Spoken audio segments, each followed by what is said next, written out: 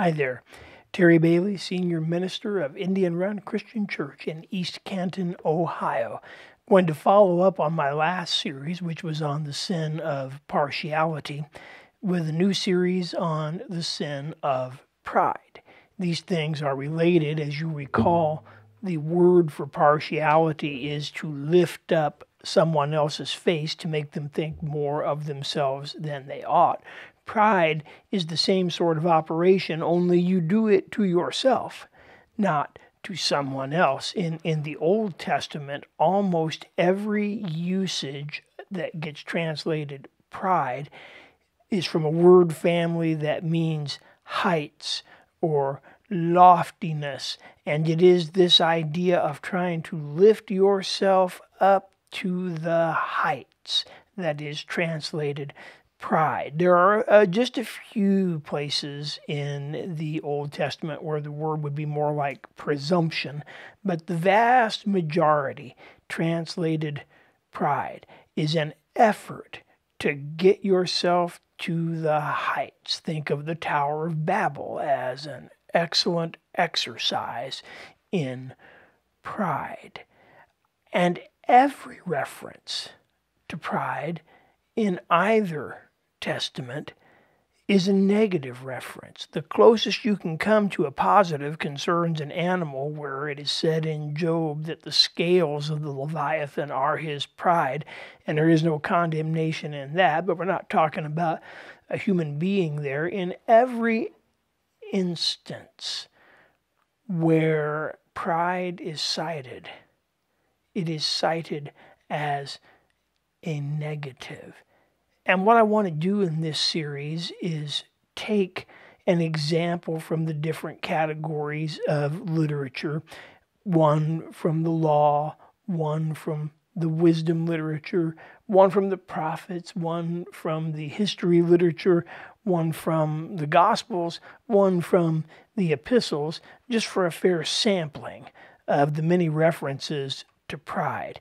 As I said, in the Old Testament, the word has to do with lifting yourself up to a height or lofty place.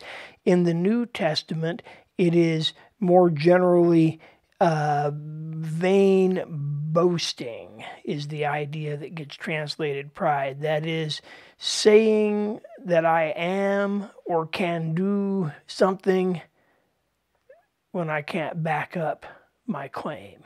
This would be pride. All right, so let's begin. I'm going to start with an instance from the law, and this is from Leviticus chapter 26, verse 19.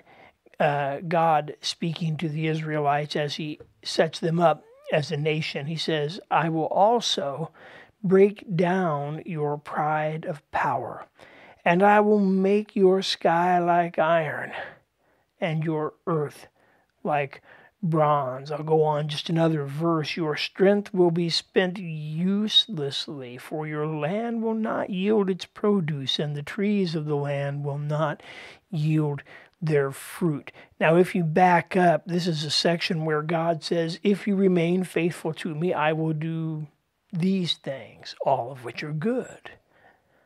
But if you decide you don't need me, and you have no interest in my ordinances or my help, then I will do these things. And they're all negative. And among the negative things that God says He will do if the Israelites decide they don't need Him anymore is that He will break down their pride of power. And there is a prediction here.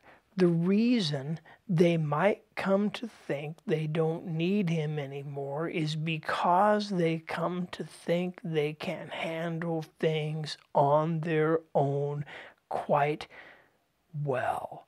And then I'm not obligated to God. I'm not obligated to keep His commandments. If I am the source of all the good things that come to me, if I look at my table and said, I grew those grapes, I raised that uh, beef, goat, chicken, whatever it may be, I squeezed those olives. I did the tilling. I did the fertilizing. I am my own benefactor. Thank you, me. And what need have I for God? Well, except that I used His earth, which He made and gave to me and placed me as a steward over except that I used seeds which are his creation and I can't make them.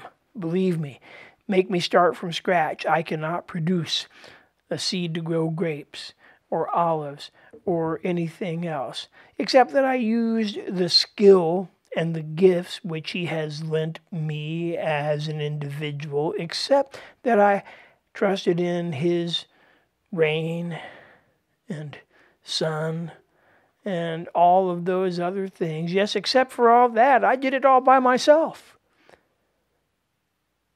Well, you see how foolish that is. And when you begin to think, I did it by myself without need for anything from God, you are raising yourself up and trying to occupy this lofty position and God said to the Israelites, even as He began to establish them as a nation following their departure from Egypt, if you get to this place, I will break your pride of power. In part, that requires only that God step back a little bit if you think you can do it all by yourself, including defending yourself against the nations that surround you, have that and let's see how that turns out. And sometimes God will take a more active step, but one way and another, He will break our pride of power. He will cure us of this tendency to try to occupy the lofty high places ourselves without recourse to Him, or we will not be His people. One of these two things must happen. Our pride must be cured, or we cannot be the people of God. Here is the first lesson in pride from the law. If you would pray with me. Father, bless our understanding as we begin to take these scriptures into consideration and help us not to think so highly of ourselves that we try to walk away from our need for you. For we ask it in Jesus' name. Amen.